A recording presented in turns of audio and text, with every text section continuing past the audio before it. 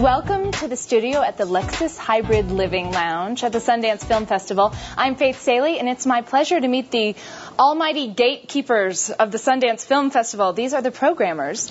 Define program for people who. Does that just mean you choose the films, basically?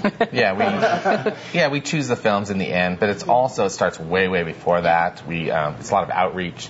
It's a lot of getting the films in. Make sure that they all come into the office. You actually have to reach out to people to get them to submit. Aren't you inundated with? Well, in in America, yes. It's true. We, we have a mythology. It's going. It's working. Yeah. That's that's all working. You know, we had 5,500 shorts submitted this year.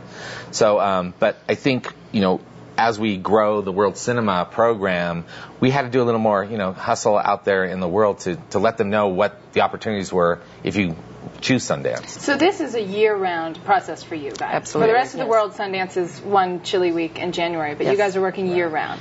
Yes. All right. How many features were submitted? About 800 in each category, roughly. Is every single one watched? Yes. Yes. You swear to God. Absolutely. Because uh, N- not by us. Not exactly by us. it's kind of like a studio where, you know, they get scripts in and they get them covered. So we get every film covered first. Okay. That's the first round. And then they make their way to us. David, how do you feel in that moment when you know you can crush someone's future or, or make it? Is, are you angst-ridden, or is it always clear to you this is Sundance material or not? Mm. it's definitely this is Sundance material or not, but I also am keenly aware that I'm destroying someone's hopes and dreams when I know it's not Sundance material, but that's just how it is. We have a job to do. We're professional. We're professional evaluators. Dream crushers? Yes. And dream makers, you are. That's right. but you know that that's why and, we. in setting a certain you know schedule of points of conversation. You know, you know the movies go out into the world and to the public, and we're really looking at films that work, films that are doing something new. And when you say dream crushes, it's almost like none of us want that. In fact, No. the opposite. It's No. the positivist approach that, that Yeah. you don't you want to accept that you may not have responded to a film, but you have that gut instinct that maybe Shari or Trevor or Caroline would. That seems very harmonious. Does it ever get really contentious and, and somebody argues vociferously for, for his or her Wanna pet project? scars? Ar- Yes. you cut each other? Argue, yes, but not contentious. Our job is a debate. A debate. We have to find 125 features that, you know, in, in essence, we love. You know that each film that's in the catalog, someone here felt really passionately about. That you know for sure. When you do become a dream maker, who gets to deliver that message? Is it a phone call to each of these mm-hmm. directors? Yes. Yes. Who gets to make the phone call? We split them up. Yeah. Mm-hmm. Tell me about somebody. Tell me about the greatest response you got when you made that call and said you're in.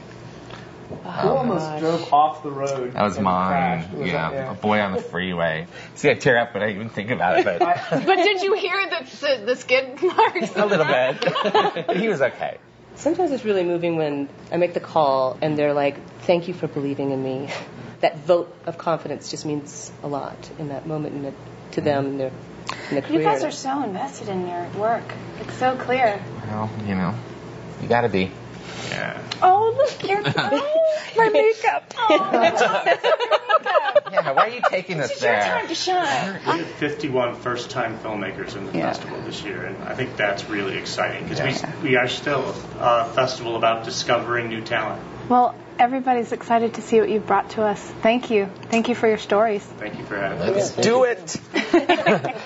For more information, go to sundancechannel.com.